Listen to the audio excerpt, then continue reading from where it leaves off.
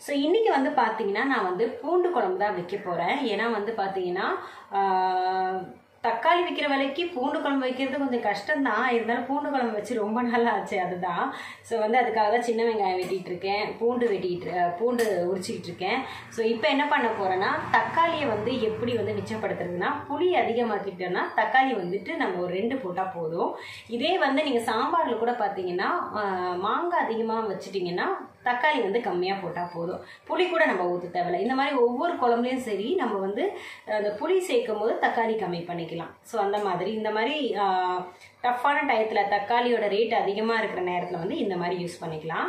So நான் வந்து பூண்டு குழம்பு அதுக்கப்புறமா ஒரு சம்பல் மாதிரி அரைச்சிட்டு அதை ஈவினிங் அரைச்சிப்பேன். ஏன்னா நைட்டு சாப்பிட்றதுக்கு தானே. அதுக்கப்புறமா வந்து பார்த்தீங்கன்னா முட்டை ஆம்லேட் அப்பளம். இதுதான் நைட்டுக்கு ஸோ நைட்டுக்கு வந்து நாங்கள் தோசை ஊற்றிப்போம் திடீர்னு அவர் சடனாக எனக்கு ரைஸ் வேணும்னா எங்கே போவோம் அதனால் வந்து ரைஸ் கொஞ்சோண்டு வச்சிடலாம் அப்படின்னு சொல்லிட்டு தான் ஸோ இந்த வேலை தான் பண்ணிகிட்ருக்கேன் இருக்கேன். நான் எப்படி வந்து பூண்டு குழம்பு வைக்கிறேன்னு காமிக்கிறேன். பூண்டு குழம்பு செய்ய போகிறேன்னு சொன்னேன் இல்லையா? ஸோ பூண்டு குழம்பு தான். அது கூட கொஞ்சம் கத்திரிக்காய் சேர்த்துக்க போகிறேன் ஏன்னா ஊர்லேருந்து கொண்டு வந்த கத்திரிக்காய் எங்கள் ஊர் கத்திரிக்காய் வந்து ரொம்ப டேஸ்ட்டாக இருக்கும். ஸோ அதனால் இந்த குழம்போட சேர்த்துக்க போகிறேன் இது வந்து ஆப்ஷனல் தான். உங்களுக்கு தேவை இல்லைன்னா நீங்கள் வெறும் பூண்டு போட்டு பண்ணால் கூட ரொம்ப நல்லாயிருக்கும் இப்போ வந்து பார்த்திங்கன்னா ஒரு மண் சட்டியில் வந்துட்டு நான் எண்ணெய் ஊற்றி அதுக்கப்புறமா வந்து ஸ்டவ்வில் வச்சுருக்கேன். எப்போவுமே வந்து பார்த்திங்கன்னா மண் சட்டி வந்து சூடானதுக்கப்புறம் எண்ணெய் ஊற்றுனீங்கன்னா ஒரு ஒரு மாதிரி வாசனை வரும் குழம்பு. அதை அவாய்ட் பண்ணுறதுக்கு நீங்கள் எண்ணெய் ஊற்றுனதுக்கப்புறமா வந்து அடுப்பில் வைங்க. இப்போ எண்ணெய் நல்லா சூடானதுக்கப்புறமா கடுகு உளுத்தம்பருப்பு அதுக்கப்புறமா வெந்தயம் போட்டிருக்கேன் இது எல்லாமே நல்லா பொரிஞ்சதுக்கு அப்புறமா வந்து நம்ம வந்து பூண்டு சேர்த்துக்கலாம்.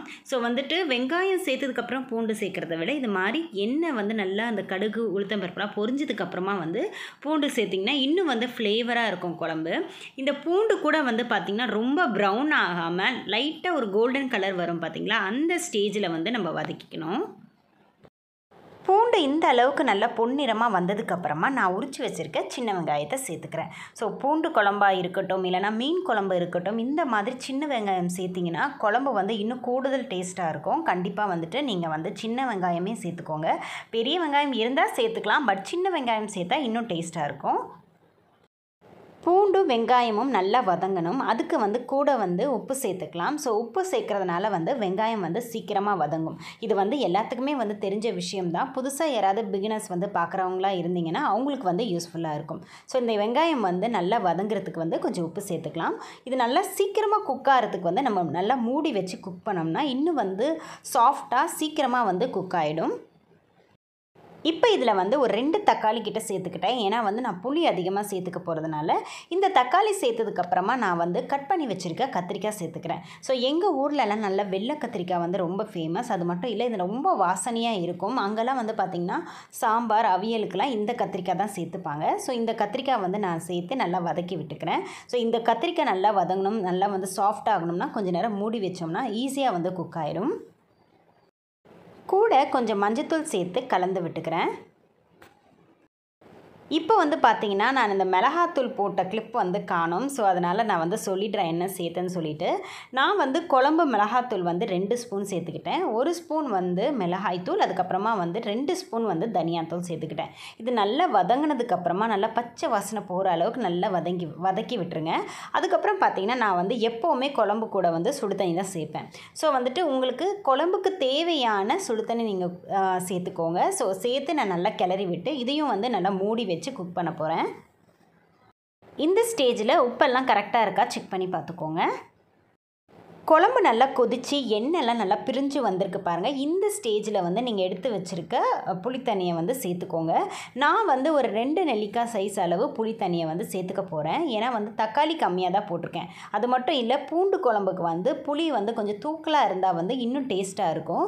ஸோ இதை சேர்த்ததுக்கப்புறமா நல்லா கிளறி விட்டு மூடி வச்சோம்னா அதுவுமே வந்து நல்லா பச்சை வாசனைலாம் போகிற அளவுக்கு வந்து கொதித்து வர வரைக்கும் நம்ம வந்து குக் பண்ணணும்.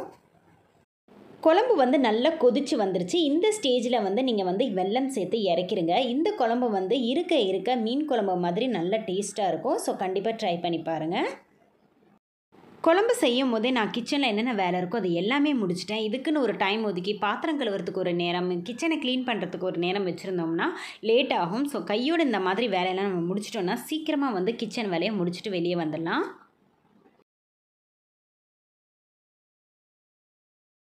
சமையல்லாம் முடிச்சுட்டு நம்ம வீட்டு பக்கத்தில் உள்ள ஹோல்சேல்ஸ் மார்க்கெட்டில் போயிட்டு நான் காய்கறிலாம் வாங்கிட்டு வந்துட்டேன். இந்த காய்கறி வந்து எனக்கு ஒரு வாரத்துக்கிட்ட வரும். ஸோ நான் எப்போவுமே வந்துட்டு காய்கறி வாங்கும் போது கருணக்கிழங்கு சேப்பக்கிழங்கு உருளைக்கிழங்கு இதெல்லாம் வந்துட்டு வாங்கிட்டு வந்துடுவேன் ஏன்னா வந்து லஞ்ச் கட்டும் போது இதுதான் வந்து ஈஸியாக இருக்கும். அதே மாதிரி இந்த காலிஃப்ளவர் பார்த்திங்கன்னா அது மேலே உள்ள இலையெல்லாம் எடுத்துகிட்டு க்ளீன் பண்ணிவிட்டு இந்த மாதிரி ஒரு பாக்ஸில் ஸ்டோர் பண்ணி வச்சுருவேன். ஸோ பச்சை மிளகாய் ஏற்கனவே இருந்ததுனால நான் வாங்கலை. அதே மாதிரி கேரட் வந்து பார்த்திங்கன்னா நம்ம நார்மலாக ஒரு கவரில் கட்டி வைக்கிறதோட இந்த மாதிரி ஒரு பாக்ஸில் போட்டு வச்சோம்னா எனக்கு ரொம்ப நாள் வருது. ஸோ சப்போஸ் நீங்கள் இந்த பாக்ஸ் வந்து எங்கே வாங்குனீங்க அப்படிங்க அப்படின்னு கேட்டிங்கன்னா நான் வந்து மீஷோவில் தான் இந்த பாக்ஸ் வந்து ஆர்டர் பண்ணி வாங்கினேன். ரொம்ப நல்லா இருக்குது ஸோ இதில் வந்து ஸ்டோரேஜ் பண்ணி வச்சா ரொம்ப நாள் வந்து எனக்கு கேரட் வருது. நான் என்ன ப்ராண்டில் வந்து குக்கர் வாங்கினேன்னா ப்ரெஸ்டீஜ் ஸ்வெஜ்ஜுன்னு சொல்லிட்டு ஃபோர் லிட்டர் குக்கர் தான் வாங்கினேன். ஸோ வந்து இது வந்து காம்பேக்டாக இருக்கும் ஸோ ரொம்ப பெருசாகவும் இருக்காது சின்னதாகவும் இருக்காதுன்னு சொல்லிட்டு இப்படி இந்த சைஸில் வாங்கிட்டேன். சின்னது வந்து பார்த்திங்கன்னா ரொம்ப குட்டியாக இருந்தது. அதெல்லாம் வந்து பாப்பா வச்சுருக்கவங்களுக்கு தான் வந்து அதெல்லாம் வந்துட்டு சரியாக இருக்கும்னு சொல்லிட்டு நான் இந்த மீடியம் சைஸ் வாங்கிட்டேன். இதுக்கப்புறம் வந்து சைஸ் வாங்கினா இதை விட கொஞ்சம் பெரிய சைஸ் தான் வாங்குவேன். ஸோ இந்த குக்கர் தான் நான் வாங்கிட்டு வந்தேன். அது மட்டும் இல்லை ரிலையன்ஸில் வந்து எப்போவுமே வந்து ஆஃபர் போயிட்டுருக்கோம் ஸோ வந்து நான் வந்து சில பொருள் பொருட்கள் மட்டும் நான் வாங்கிட்டு வந்தேன். ஆக்சுவலி வந்து மளிகை ஜாமான் வாங்கன்னு போல குக்கர் மட்டும் தான் வாங்கணும்னு நினச்சி போனேன். ஸோ அதில் வந்து ஆஃபர்ஸ் போட்டிருக்கோம் இல்லையா? அதில் வந்து பார்த்திங்கன்னா நிறைய பொருள்லாம் வாங்கிட்டு வந்தேன்.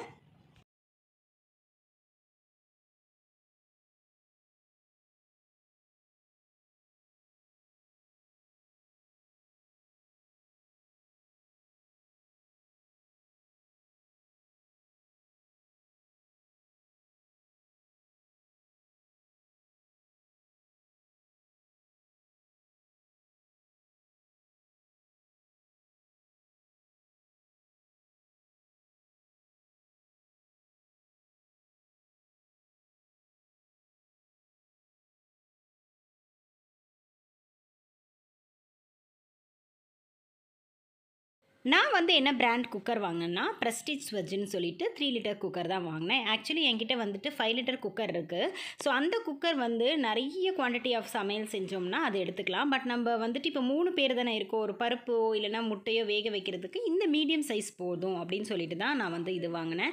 ஆக்சுவலி ரெண்டு குக்கர் தான் பிளான் பண்ணி போனேன். இதை விட சின்னது பார்த்தேன். பட் ரொம்ப சின்னதாக இருந்ததுனால எந்த யூஸுமே கிடையாது. இதெல்லாம் வந்து சில்ட்ரன்ஸ் குட்டி குட்டி கிட்ஸ் பேபிஸ்லாம் வச்சுருக்கவங்களுக்கு தான் வந்துட்டு அந்த மாதிரி குக்கர் உதவும் உதவும்னு சொல்லிட்டு நான் இந்த மீடியம் சைஸ் தான் எடுத்துகிட்டு வந்தேன். ஸோ முக்கியமாக வந்து குக்கர் வாங்க தான் போனேன். பட் வந்து கொஞ்சம் வந்து ஆஃபரில் நிறைய பொருள் போட்டிருந்ததுனால அதையும் எடுத்துகிட்டு வந்துட்டேன். ஸோ நல்லா இருக்குது இந்த குக்கர் நீங்கள் ட்ரை பண்ணி பாருங்கள் ப்ரெஸ்டீஜில் ஆக்சுவலி வந்துட்டு நான் பக்கத்தில் உள்ள ஷோரூமுக்கு போனேன். ஸோ அங்கே வந்து ரேட் வந்து த்ரீ சிக்ஸ் சிக்ஸ்டி போட்டிருந்தாங்க. பட் ரிலையன்ஸில் வந்து டூ எயிட் கிட்ட தான் எனக்கு கிடச்சிச்சு. ஸோ நல்ல டீலில் வந்து நான் வாங்கிட்டு வந்துட்டேன்.